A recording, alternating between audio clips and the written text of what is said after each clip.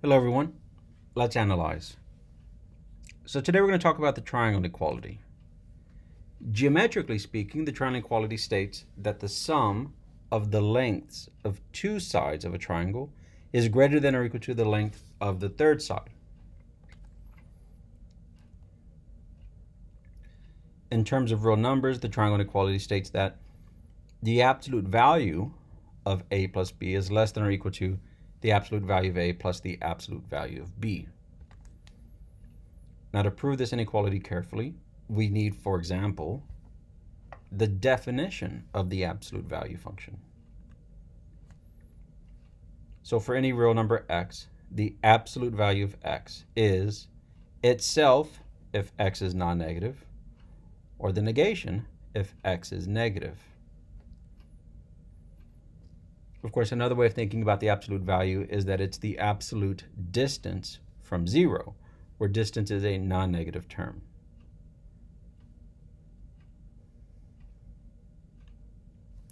Now, to make our way towards the triangle inequality and some other properties of the absolute value, we're going to need a lemma. For all real numbers x, x is less than or equal to its absolute value, and negative x is less than or equal to its absolute value. Now, of course, we know from the definition that one of those inequalities is an equality. So let's do this in two cases, x non-negative and x negative. Case one, x is non-negative. Well, in that case, by definition, x equals its absolute value, so rather trivially, x is less than or equal to its absolute value, specifically equal to. Also negative x, if x is non-negative, negative x is non-positive. And if it's non-positive, it's less than or equal to x, which equals the absolute value. Implying by transitivity that negative x is less than or equal to the absolute value of x. So we've got case 1 squared away. Let's go to case 2 where x is negative. By definition, negative x equals the absolute value, implying rather trivially that negative x is less than or equal to the absolute value, specifically equal to now, we also know that if x is negative, negative x is positive, which means x is less than negative x, which equals the absolute value. And by transitivity, x is less than or equal to the absolute value, specifically less than. And we've proven our result. Hopefully, when we saw that lemma, we said, well, of course, that's straightforward. x either is its absolute value or it is less than. Now let's also define the square root. We've mentioned the square root a few times. In one of the previous lectures we talked about the square root of 2, specifically the diagonal of a 1 by 1 box. And the fact that, for example, the square root of 2 is guaranteed to exist by the least upper bound property. But let's give a precise definition. If x is non-negative, then a is the square root if and only if a is non-negative and a squared is x. So it means precisely what you think it means, except that we're going to stick specifically to non-negative terms. If we were to get into negative terms, we'd get into complex numbers, and this is real analysis. Okay, so some theorems or uh, properties, provable properties of the absolute value is that the absolute value of a times b is the absolute value of a times the absolute value of b. The absolute value of a is less than or equal to a number epsilon if and only if a is greater than or equal to negative epsilon and less than or equal to epsilon. Another way of writing this statement is to say that A is in the closed interval negative epsilon to epsilon. Now we come to the third property, which is the triangle inequality. And the fourth property, which is often called the reverse triangle inequality, which says that the absolute value of the difference of the absolute values is less than or equal to the absolute value of the difference. So let's prove statement one. So in statement one, which is an equality statement, we're going to use some equalities that were proven or will be proven in your homework. One is that the absolute value of a number is equal to the square root of its square. Now, ab squared is ab times ab, and by associativity and commutativity, ab times ab is a times a times b times b, which is a squared times b squared. So I get equality there. The fact that I can split the square root into the square root of a squared times the square root of b squared, that's something you'll prove in your homework. And the square root of a squared is the absolute value of a, right? That's the result we used in the first equality the square root of b squared is the absolute value of b. And that proves statement 1. Now let's prove statement 2. Notice it's an if and only if statement, so we actually have to prove two things. We have to prove the forward and the reverse direction. Let's start with the reverse direction. Let's suppose that A is in the closed interval negative epsilon to epsilon. In other words, a is greater than or equal to negative epsilon and less than or equal to epsilon. Well, if a is non-negative, then the absolute value of a equals a by definition, which we're supposing, you see right here, is less than or equal to epsilon, which is exactly what we want to show. So for non-negative a, we have our result. What about for negative a? Well, for negative a, the absolute value of a equals negative a. Negative a is less than or equal to positive epsilon by taking this inequality and multiplying both sides by negative 1. So negative a is less than or equal to epsilon, which again is what we want to show.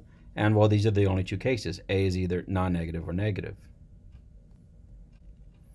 In both cases, we get that if a is in the closed interval negative epsilon to epsilon, then the absolute value of A is less than epsilon. Now for the forward direction, suppose that the absolute value of A is less than or equal to epsilon. From the previous lemma, A is less than or equal to its absolute value, which we're supposing is less than or equal to epsilon. That implies A is less than or equal to epsilon. And from the same lemma, negative a is less than or equal to its absolute value, which we're supposing is less than or equal to epsilon. Implying if negative a is less than or equal to epsilon, then negative epsilon is less than or equal to negative negative a, which of course we know is positive a.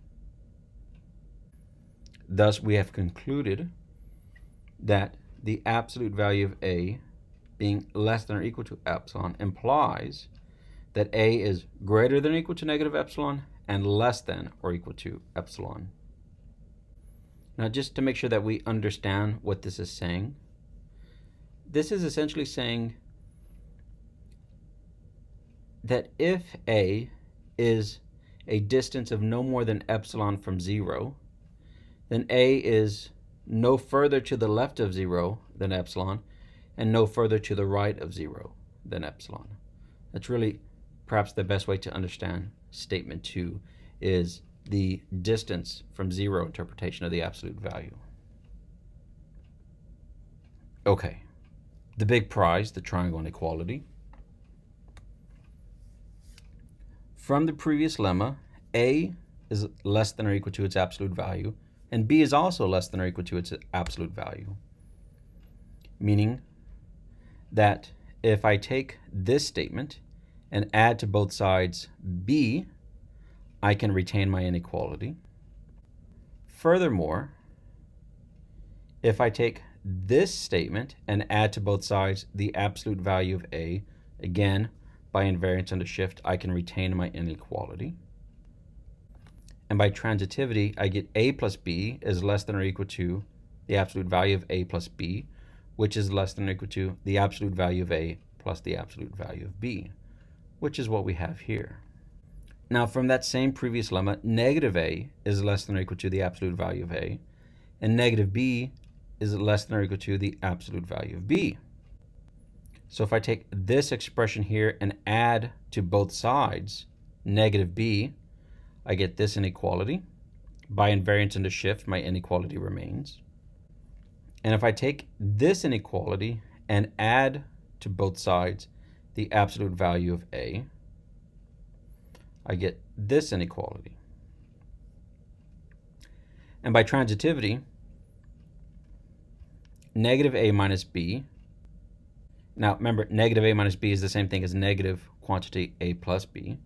But negative a minus b is less than or equal to absolute value of a plus the absolute value of b.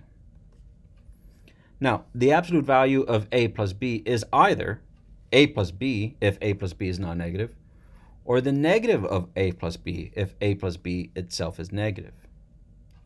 So the absolute value is either equal to this or this.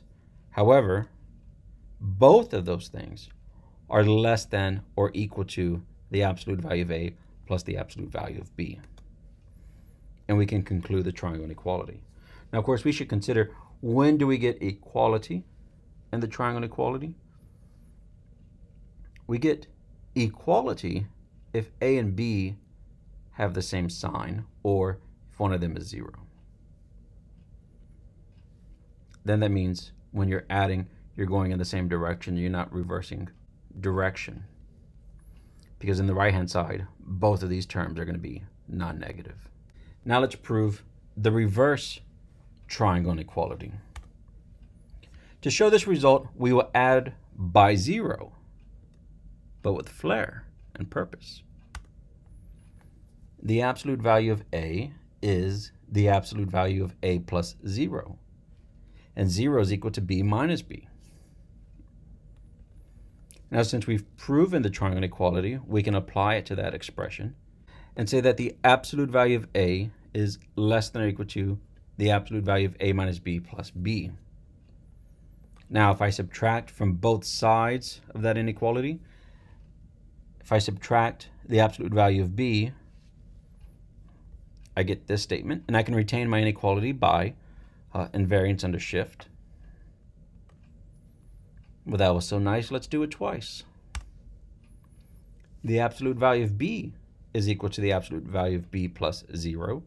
And here we're going to express 0 as a minus a. And because I've already proven the triangle inequality, I can apply it again. I get that's less than or equal to the absolute value of b minus a plus the absolute value of a. And now I can subtract from both sides the absolute value of A. By invariance under shift, my inequality remains. So I get the absolute value of B minus the absolute value of A is also less than or equal to the absolute value of B minus A.